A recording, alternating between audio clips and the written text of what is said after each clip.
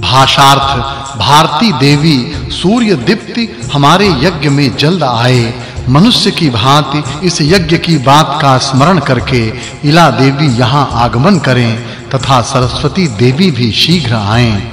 उत्तम कार्य करने वाली ये तीनों देवियाँ इस यज्ञ में आकर सुखप्रद आसन पर विराजें। भाषार्थ, जो त्वष्टा देव संसार को उत्पन्न करने वाले, इन द्यावा पृथ्वी को नाना प्रकार के रूपों से सुशोभित करता है, तथा जो सभी भुवनों को अनेक पदार्थों से सुशोभित करता है, हे होता, तू ज्ञाता, श्रेष्ठ कामना वाला और यज्ञशील है, इसलिए इस यज्ञ में आज उस त्वष्टा देव की यथा योग्य उपासना पूजा कर भाषार्थ, हे यूप, तू स्वयं अपनी सामर्थ्य से ऋतुओं के अनुसार, देवों के लिए अन्न आदि एवं अन्य होमीय द्रव्य श्रेष्ठ प्रकार से लाकर प्रदान कर। वनस्पति, शमिता देव और अग्नि मीठे घी से हवि का आस्वादन करें।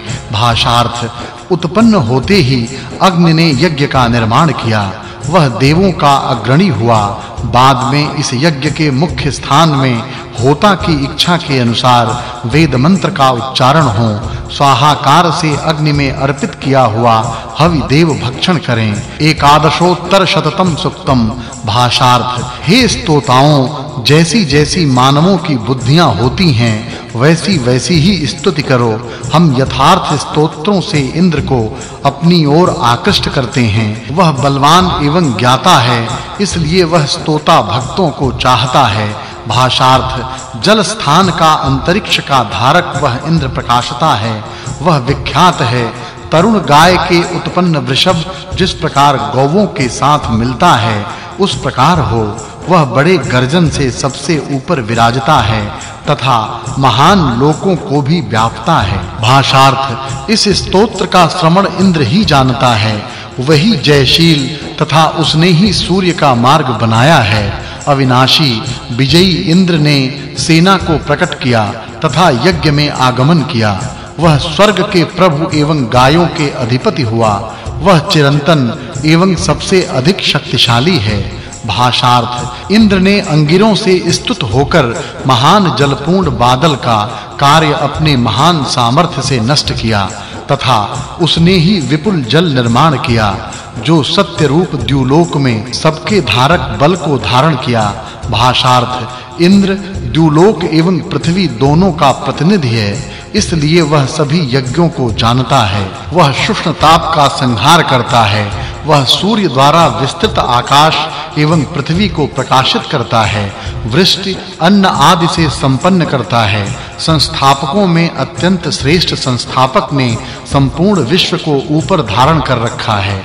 भाषार्थ, हे इंद्र, वृत्रहंता, तुमने वज्र से वृत्र का संहार किया। हे धर्षणशील इंद्र, अज्ञानी, अप्रकाशित एवं वर्धिष्णु, उसकी कुटिल मायाओं को समर्थ वज्र द्वारा यहाँ तुमने नष्ट कर डाला। और हे ऐश्वर्यवान इंद्र, बाहुओं में बल पराक्रम युक्त हुआ। भाषार्थ, जब उषाएँ सूर्य के साथ मिलती हैं तब सूर्य की किरणों ने आश्चर्य कारक अद्भुत वर्णों की शोभा प्राप्त की। बाद में जब आकाश में नक्षत्र नहीं दिखाई देता, तब सब जगह जाने वाली सूर्य की किरणों को कोई भी नहीं जानता। यह सत्य है, भाषार्थ। जो जल इंद्र की आज्ञा से बहने लगा था, उनमें से आरंभ दशा में ही पहले का जल बहुत दूर हो गया था। हे उदक, तुम्हारा आरंभ का अग्र का भाग कहाँ है? मूल भाग कहाँ है, तथा तुम्हारा मध्य भाग कहाँ है, तथा निश्चय से अंत भाग कहाँ है?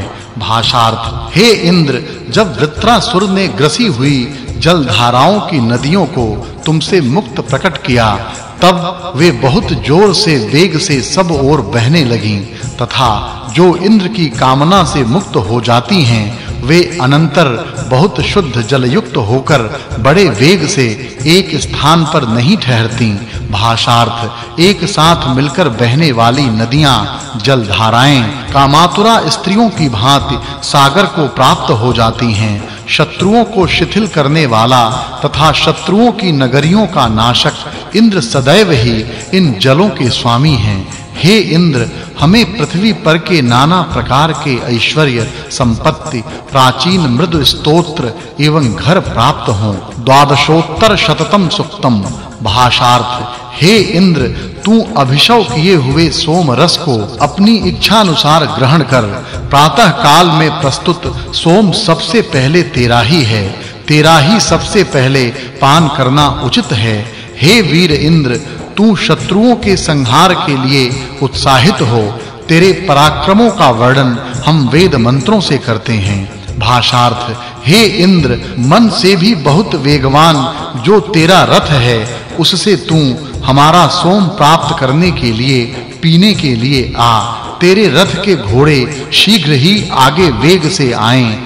जिन बलशाली अश्वों से प्रसन्न चित्त होकर तू जाता है भाषार्थ हे। इंद्र, सुवर्ण की भांति सूर्य के तेज से तथा उत्तमोत्तम रूपों से तू अपने शरीर को विभूषित कर हम मित्रों से बुलाया जाता हुआ देवों के साथ तू सदैव हमारे साथ रहकर इस यज्ञ में बैठ तथा सोमपान से आनंदित हो। भाषार्थ, हे इंद्र, जिस तेरे सोमपान से मत होने पर महिमा होती है, तेरे उस महिमा को सामर्थ्य को ये महती द्यावा पृथ्वी भी आकलन नहीं कर सकती।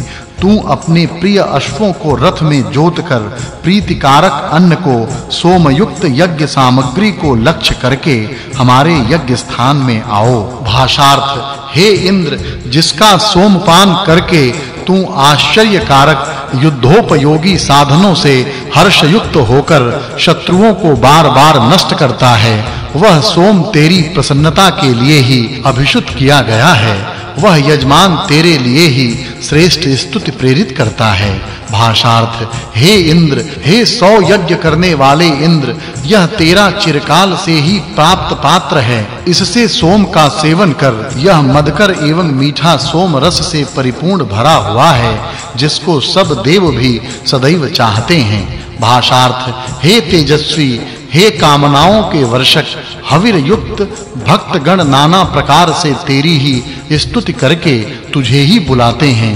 हमारे ये यज्ञ कार्य तेरे ही लिए अत्यंत मीठे सोम रस से युक्त हैं। इसलिए तू उनमें प्रसन्न हो। भाषार्थ, हे इंद्र, तेरे सबसे पहले किए उत्तम कार्य को, पुरातन पराक्रमों को अभी मैं वर्णन करता हूँ। जल की वृष्टि करने के लिए तुमने मेघ को वज्र से फोड़ा था, तथा बृहस्पति के लिए गाय की प्राप्ति सुगम कर दी थी। भाषार्थ, हे संघों के स्वामिन, गणों के मध्य में स्तुति सुनने के लिए बैठ। क्रांतदर्शी विद्वानों के मध्य तुझको सबसे श्रेष्ठ विद्वान कहते हैं। तेरे बिना कुछ भी क्या पास, क्या दूर नहीं किया जाता है। हे धनवान इंद्र, तू महान, पूज्य स्तुत्य अर्चनीय, हमारे स्तोत्र को अनेक रूप वाला कर, भाषार्थ, हे धनवान इंद्र, हम प्रार्थना करने वाले को तेज युक्त व विख्यात कर, हे मित्र, हे धनों के स्वामी, तू हम अपने मित्र के स्तोत्रों को जान, हे युद्ध करता हे सत्य के बल वाले, तू संग्राम कर अप्राप्य स्थान में भी हमें ऐश्वर्य के भागी कर दशमो नुवाकह त्रयोदशोत्तर शततम सुक्तम भाषार्थ उत्तजक द्यावा पृथ्वी सब देवों के साथ, इंद्र के शत्रुओं के शोषक बल की रक्षा करें। जब महान कृत्यों को करने वाला इंद्र अपनी श्रेष्ठ महिमा को सामर्थ्य को प्राप्त करता है, तब कर्तृत्ववान वह सोम का सेवन कर वृद्धिगत हुआ। भाषार्थ विष्णु ने मीठे सोम के लता खंड को प्रेरित कर इसके सामर्थ्य से प्राप्त इंद्र की उस महिमा का नाना प्रकार से वर्णन किया, स्तुति की। धनवान इंद्र सहयोगी देवों के साथ जाकर वृत्र का संहार करके सबसे श्रेष्ठ हुआ। भाषार्थ, संग्राम के लिए अस्त्र शस्त्रों को धारण करता हुआ इंद्र जब प्रतिकार के लिए सामने से आने वाले शत्रु